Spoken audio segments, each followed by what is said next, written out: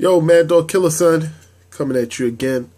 Um, by now, you know, everybody pretty much knows two NYPD officers was um, shot and killed in their patrol car while on duty by a lone suicide gunman that ran into a nearby train station. Um, I believe it's rookie cops.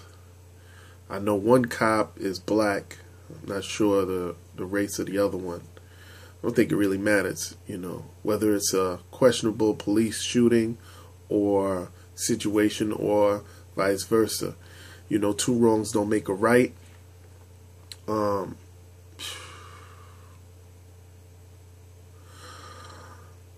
yo, obviously something's got to change, my niggas. Something's got to change, right?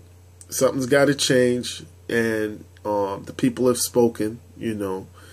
And the way you get things to change is through legislation, it's through, um, um, you know, Capitol Hill, you know, um, it's through your local congressman, it's, um, it's, it's getting these attention, which we do have the attention of uh, the district attorney, you know, and, and the federal government. Um, to think you know, let me rewind, you know, going back to one of my previous blogs when I was talking about police brutality, you just can't you can't allow a reverend or a lawyer or somebody to jump in front of a camera and say no justice, no peace and you know, we want this and we want that or you know, it's gonna be this. You create a hostile environment where there's people that operate, they mind operate at a different level. And if they don't have nothing to lose, they might just say, oh, let me just pop off here. Pop off at a cop, pop off there. The problem with that, you know, you might say, well, I don't care. It's a cop that got killed, or I don't care what happened to them. Well, you should, you know, and I'm going to tell you why. You should care.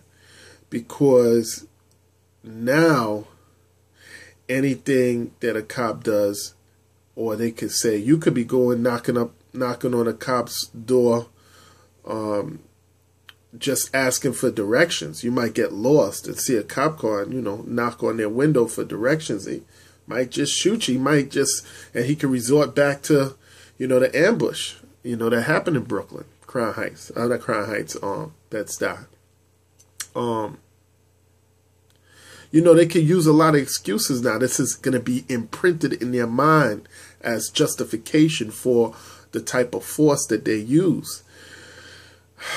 This creates a huge problem for us, you know, in the communities. Um, and I'm not just talking about black people, I'm talking about anybody. Anybody that a cop sees as a threat creates a huge problem because, you know, people are taking uh, more and more liberties as these protests and things go on.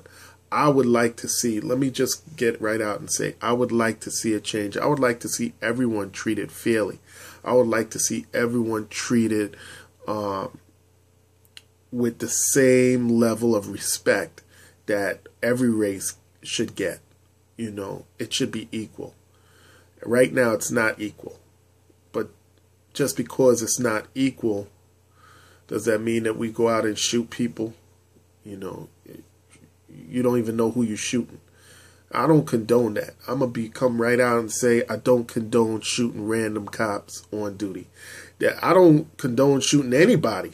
To be honest with you, you know, the, whatever the cops did that's wrong, we we need to get that addressed. We can't. We need to fight that battle.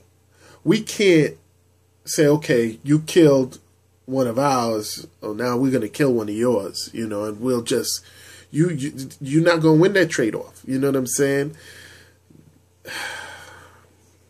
I, I, I don't even think I need to explain all of this. It's just, you know, I think people are going to take this, people will take this incident and run with it. Meanwhile, you know, those could be two uh, good brothers never hurt nobody before in their life and and and have great families you know maybe kids you know just before christmas You know what I'm saying? I mean,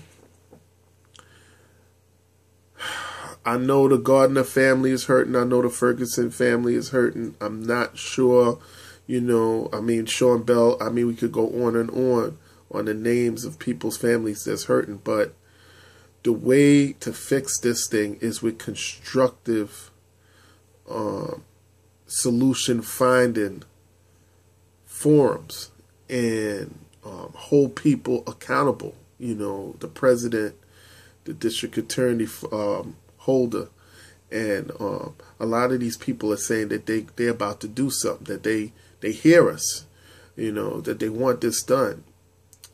Uh, I'm just hoping that, you know, not even hoping. I mean, it is what it is. You got cops saying it's, you know, you know, the line has been drawn now. You know, it's, uh, you know, it's, it's, it's wartime. You know, those comments is not good either. Wearing a shirt saying "I can breathe" as a cop should not wear it. Cops should not do that. It's, it shows insensitivity to a situation.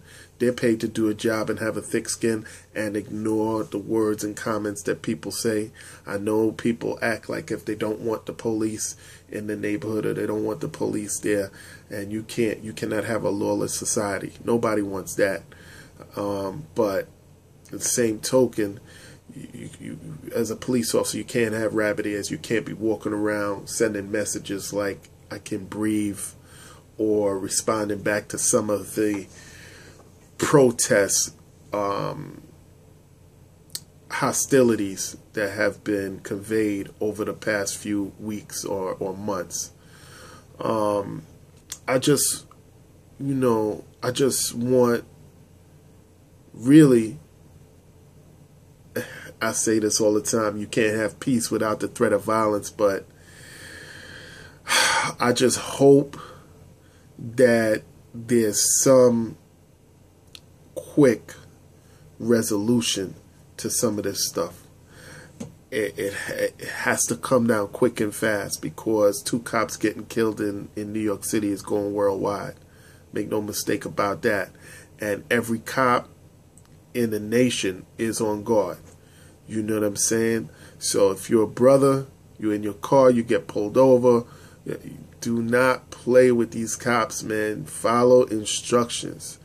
Do what they tell you to do and try and get to that next day because you cannot say it's open season on cops and think there will be no retaliation.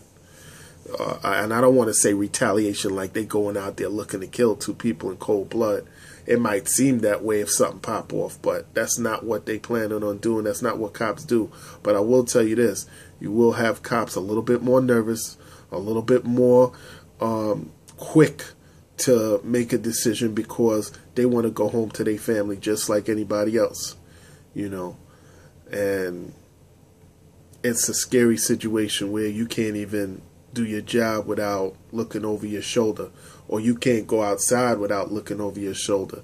You know, everybody's in the same bucket now. Cops, citizens, people. Yo, subscribe, holla at me. Yo, I want to hear your comments on this. You know, there's no wrong answer. You know, like I say all the time, you could do the right thing, you could do the wrong thing. The worst thing you could do is nothing at all. You know, we we need to holler at each other on this one. You know, holler at me.